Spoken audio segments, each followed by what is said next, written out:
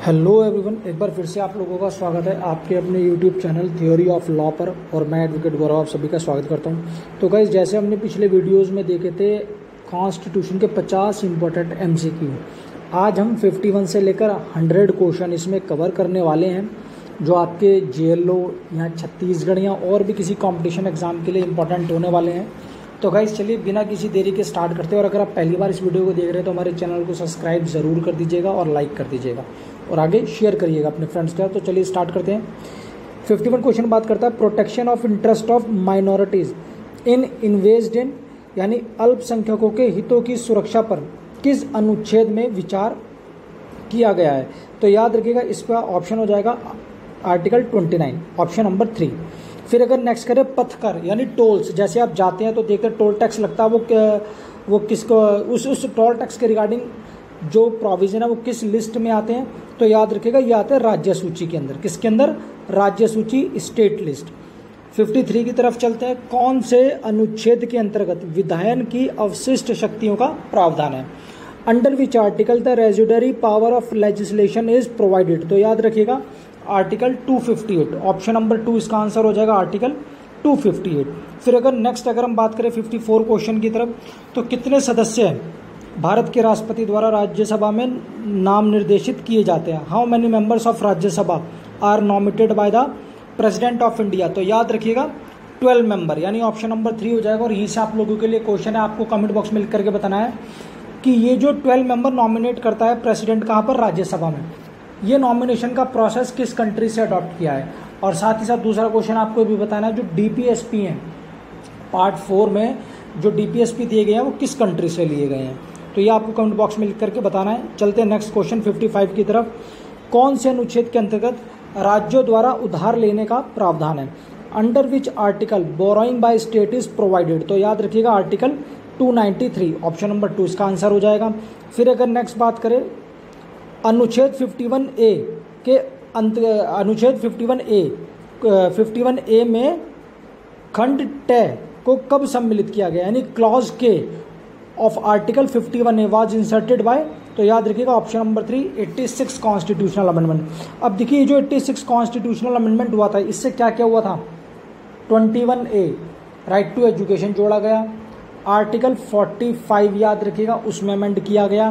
और तीसरा 51 के ये इनकॉर्पोरेट किया गया था। तो इन चीज़ों को याद रखना। कल भी एक चीज़ बताई थी वीडियो में अमेंडमेंट हुआ था 2002 में। 2002 में अमेंड हुआ और ये अप्लाई कब से हुआ था? 2010 में, आठ साल बाद। फिर अगर नेक्स्ट 57 की बात करते हैं, संपत्ति का अधिकार किस अनुच्छेद के अंतर्गत आता है? तो याद रखिएगा, अब ये option number four article 300 A में आता है। पहले कहाँ पर था? फंडामेंटल राइट था आर्टिकल 19 में। लेकिन चवालीसवें संविधान संशोधन द्वारा क्या कर दिया? 300 ए में बना दिया लीगल राइट बना दिया लीगल और कॉन्स्टिट्यूशनल राइट बना दिया फंडामेंटल राइट से हटाकर फिर बात करते हैं 58 अनुच्छेद 43 ए संविधान में, निम्नलिखित में से किसके द्वारा सम्मिलित किया गया? तो याद रखिएगा, जो 43 ए है डीपीएसपी में फोर्टी सेकेंड कॉन्स्टिट्यूशनल अमेंडमेंट से ये इनकॉर्पोरेट किया गया था। और फोर्टी सेकेंड कॉन्स्टिट्यूशनल अमेंडमेंट को क्या बोला जाता है? मिनी कॉन्स्टिट्यूशन के नाम से भी जानना जाता है। अब चलते हैं, क्वेश्चन नंबर 59 की तरफ़। भारत के संविधान के अनुच्छेद 360 में क्या बताया गया है? Article 360 of constitution of India is relates to तो याद रखिएगा financial emergency 59 question number 59 article 360 financial emergency India में आज तक कभी भी नहीं लगी है। फिर अगर 60 की बात करें, कौन सा अनुच्छेद नागरिकों के लिए यूनिफॉर्म सिविल कोड एक समान सिविल संहिता की बात करता है तो सभी को पता है।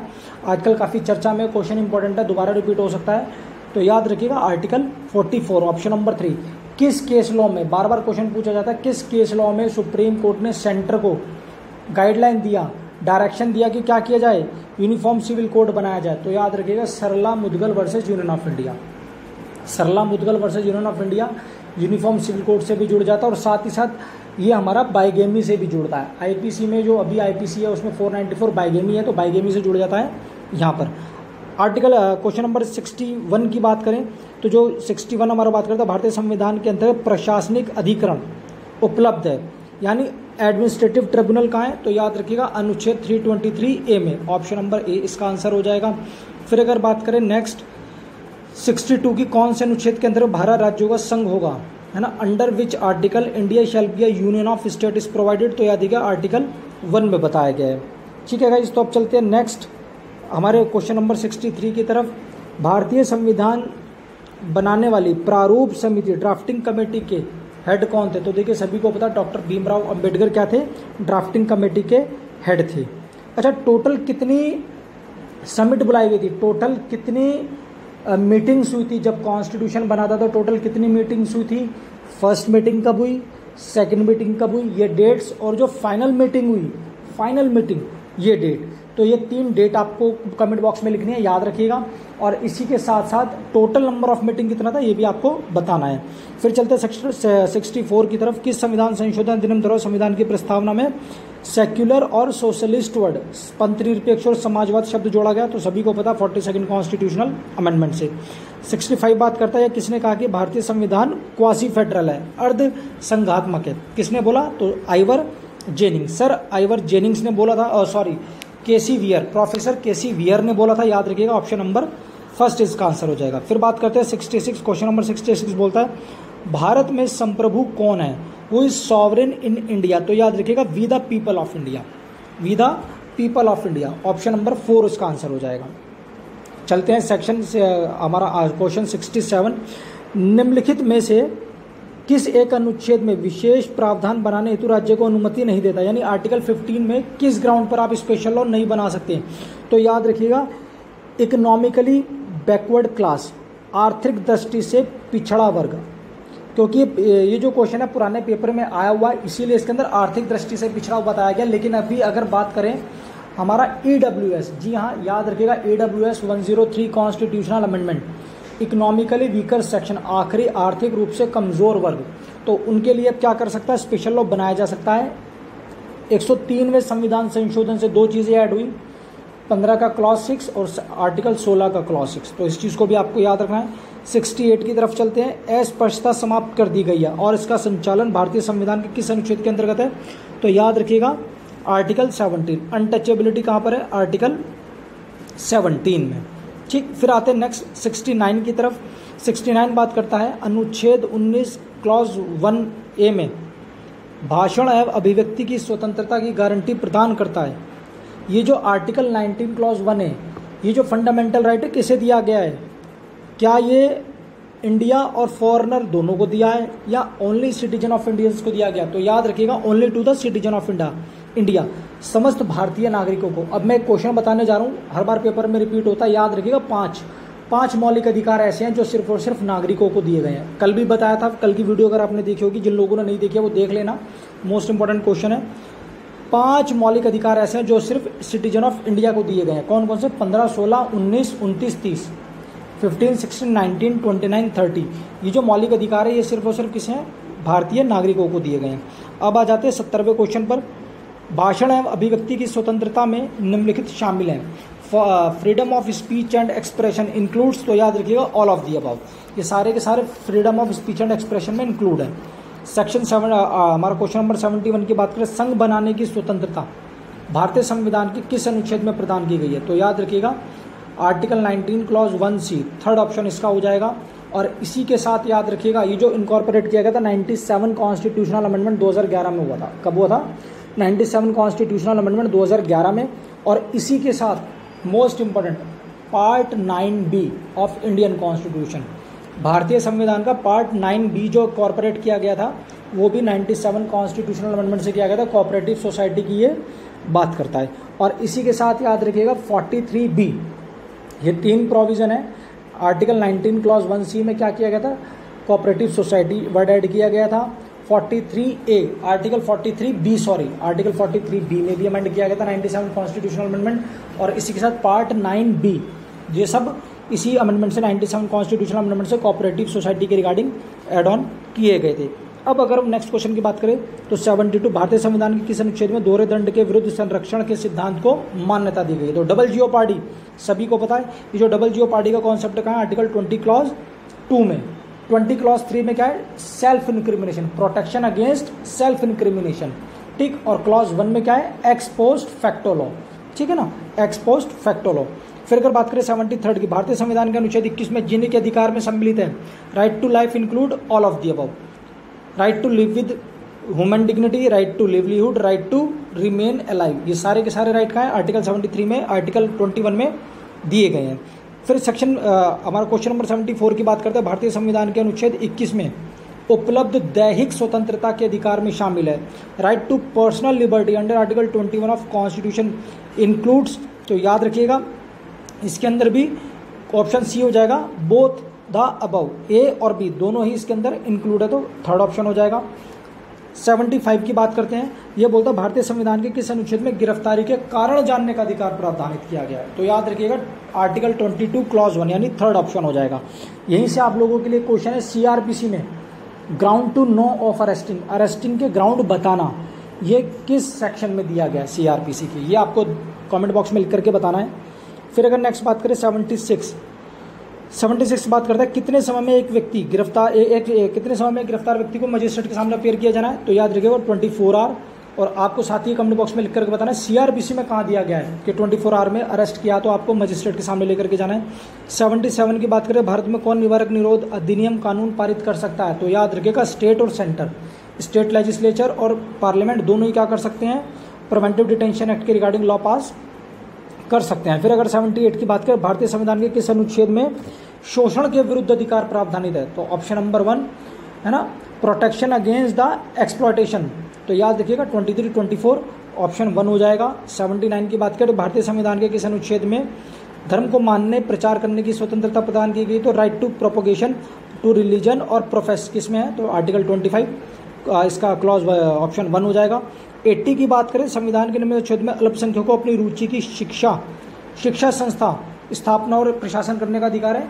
तो याद रखिएगा 80 का हो जाएगा ऑप्शन नंबर थ्री जो ये स्टैब्लिश और रन एस्टैब्लिश और एडमिनिस्ट्रेशन का जो राइट है माइनॉरिटीज़ का कहाँ पर है? आर्टिकल थर्टीन क्लॉज वन में। फिर अगर एट्टी वन क्वेश्चन की तरफ़ बढ़ते हैं एट्टी वन बात करता है, भारतीय संविधान के निम्नलिखित अनुच्छेदों में से किसमें नागरिकों को अपनी भाषा, लिपि और संस्कृति बनाए रखने का अधिकार है। यानी कि कौन सा आर्टिकल लैंग्वेज स्क्रिप्ट और कल्चर प्रिजर्व करने का राइट देता है तो याद रखिएगा article twenty nine clause one तो इसका एट्टी वन हो जाएगा। एट्टी टू की अगर हम बात करें, मौलिक अधिकारों के हनन पर प्रभावित व्यक्ति रिट याचिका आदेश कर सकता है। यानी जब आपके मौलिक अधिकारों का अतिक्रमण किया जाता है तो इस केस में रिट कौन इशू कर सकता है? तो याद रखिएगा, आप किसके सामने रिट दे सकते हैं? हाई कोर्ट और सुप्रीम कोर्ट दोनों के सामने। पावर बता दीजिएगा, हाई कोर्ट का रिट जुडिक्शन कहाँ है? और सुप्रीम कोर्ट का रिट जुडिक्शन कहाँ पर है? आपको कमेंट बॉक्स में लिख करके बताना और साथ ही ये बताइएगा, इन दोनों में से किसका ज़्यादा वाइडर जुडिक्शन है? हाई कोर्ट की रिट की पावर ज़्यादा है या सुप्रीम कोर्ट की रिट की रिगार्डिंग पावर ज़्यादा है? नेक्स्ट एट्टी थ्री बात करते हैं। अवैध कारावास के लिए कौन सी रिट जारी की जाती है? Which writ is issued for unlawful imprisonment तो याद रखिएगा हैबियस कॉर्पस बंदी प्रत्यक्षीकरण रिट सीआरपीसी का कौन सा सेक्शन सीआरपीसी का कौन सा section alternative remedy of habeas corpus बताता है। वैकल्पिक उपचार बंदी प्रत्यक्षीकरण का सीआरपीसी का कौन सा सेक्शन बताता है आपको कमेंट बॉक्स में लिख करके बताना है। ठीक? चलिए नेक्स्ट आ जाते हैं 84 की तरफ़। 84 बात करता है निम्नलिखित में से कौन सी रिट लोक न्याय के विरुद्ध जारी की जा सकती है? Which of the following writs can be issued against a public undertaking तो याद रखिएगा मैडमस ऑप्शन नंबर थ्री परमादेश। फिर बात करें 85 की। राज्य के नीति निदेशक तत्व कौन सा भाग में दिए गए हैं? डीपीएसपी जो है वो किस पार्ट में तो सभी को पता पार्ट फोर में है। फिर अगर बात करें 86 की निम्नलिखित में से कौन सा राज्य का नीति निदेशक तत्व नहीं है? Which of the following is not a directive state of principle policy तो याद रखिएगा, इसमें जो प्राइवेट उद्योगों को सहायता असिस्टेंट टू प्राइवेट इंडस्ट्रीज़ ये हमारा डीपीएसपी नहीं है। फिर अगर बात करें एट्टी सेवन की, भारतीय संविधान के किस अनुच्छेद में राज्य जन स्वास्थ्य की रक्षा के लिए मादक पेय तथा हानिकारक औषधियों के उपभोग का प्रतिषेध करेगा। Under which article of Indian constitution state can prohibit the consumption of liquor and harmful drugs to protect public health तो याद रखिएगा ऑप्शन नंबर टू आर्टिकल 47 48 की अगर बात करें तो 48 बात करता है, भारत के राज्य क्षेत्र के सभी सिविल और न्यायिक प्राधिकारी उच्चतम न्यायालय की सहायता में कार्य करेंगे। All authority civil and judicial in the territory of India shall act in aid of the supreme court. तो याद रखेगा यस ऑप्शन वन हो जाएगा, बिल्कुल सही बात है। सुप्रीम कोर्ट की एड में काम करेंगे। ए सुप्रीम कोर्ट को सहायता देंगे। कौन से आर्टिकल में बात की गई, ये आर्टिकल आपको कमेंट बॉक्स में लिख करके बताना है। 89 की तरफ़ चलते हैं। हमारा क्वेश्चन नंबर 89 कहता है, निम्नलिखित में कौन सा भाग राज्य भाषा से संबंधित है? लैंग्वेज लैंग्वेज से कौन सी शेड्यूल जुड़ती है? शेड्यूल एट जुड़ जाती है। लैंग्वेज जो है, हमारा कौन से चैप्टर में? सेवनटीन में। एमरजेंसी कौन से हमारे प्रोविज़न में? है एमरजेंसी तो याद रखिए एमरजेंसी 18 में है और लैंग्वेज 17 में। फिर अगर बात करें 90 की 19 19 का बहुत बात करता है? 19 में लिस्ट दी है कि इसका मैच कीजिएगा। तो उसमें मैं बता देता हूँ, आप मैच करके आप ऑप्शन टिक कर लीजिएगा। हमदर्द दवाखाना केस ये जो है हमदर्द दवाखाना केस ये हमारा जुड़ जाता है आर्टिकल 19 से। सरला मुदगल, वाद। अभी आपको बताया था ना यूनिफॉर्म सिविल कोड के ऊपर लैंडमार्क केस है सरला मुदगल तो आर्टिकल 44 से। पीवी नरसिम्हा राव, ये हमारा पार्लियामेंट्री प्रिविलेजेस से जुड़ जाता है और जो केदारनाथ का वाद है, केदारनाथ आर्टिकल ट्वेंटी से जुड़ जाता है। फिर अगर बात करें नाइन्टी वन की तारकुंडे समिति संबंधित है। ये जो तारकुंडे समिति है, याद रखिएगा इलेक्शन से किससे संबंधित है? तारकुंडे जो हमारी कमेटी है इलेक्शन से संबंधित है। अशोक मेहता समिति, अशोक मेहता समिति किससे है? तो याद रखिएगा, पंचायत राज से है और इसी तरह से बलवंत राय कमेटी अशोक मेहता कमेटी और बलवंत राय कमेटी, ये दोनों किससे हैं? ये दोनों पंचायत से हैं। और तारकुंडे, ये हमारा जुड़ जाता है इलेक्शन प्रोसेस से, निर्वाचन प्रक्रिया से। 92 बार की बात करें, समवर्ती सूची में कौन सा विषय सम्मिलित है? Which subject is include in the concurrent list तो याद रखिएगा option number two trust and trustees ये किसमें आता है? कॉन्करेंट लिस्ट में आता है। यानी स्टेट और सेंटर दोनों लॉ बना सकता है। 93 एक व्यक्ति जो राज्य विधानमंडल का सदस्य नहीं है राज्यपाल मुख्यमंत्री नियुक्त कर सकेगा? यस बिल्कुल कर सकता है। राज्यपाल राज्यपाल क्या कर सकता है? एक ऐसे व्यक्ति को जो हमारे राज्य विधानमंडल का सदस्य नहीं है, उसे भी प्रधानमंत्री नियुक्त किया जा सकता है। ठीक है ना? याद रखिएगा। अब आ जाते हैं। मुख्यमंत्री नियुक्त किया जा सकता है। अब आ जाते हैं नेक्स्ट नाइन्टी फोर पर। भारत के संविधान का अनुच्छेद थ्री नाइन्टी टू कठिनाइयों को दूर करने की शक्ति संबंधित है किससे? राष्ट्रपति से। याद रखिएगा। ऑप्शन नंबर फोर 392 में कठिनाइयों को दूर करने की शक्ति किसके पास है, राष्ट्रपति के पास है। दो राज्य के लिए एक उच्च न्यायालय के न्यायाधीश को शपथ दिलाता है। ये प्रोविज़न याद रखिएगा, ये आपको बताना कौन से आर्टिकल में है कि दो स्टेट के लिए एक ही हाई कोर्ट हो सकता है। जैसे आप देखेंगे तो जो कलकत्ता हाई कोर्ट है, इसका बहुत सारे कोर्ट्स के ऊपर जुरिडिक्शन है है ना? तो कौन से जैसे अगर हम बात करें कलकत्ता हाई कोर्ट तो जो हमारा कलकत्ता हाई कोर्ट है, इसका बहुत सारे कोर्ट्स के ऊपर, को बहुत सारे स्टेट के ऊपर जुरिडिक्शन है। इसी तरह से अगर हम बात करें यूनियन टेरिटरी और हाई कोर्ट, यानी यूनियन टेरिटरी और प्लस हाई कोर्ट के लिए भी क्या हो सकता है? एक ही हाई कोर्ट हो सकता है।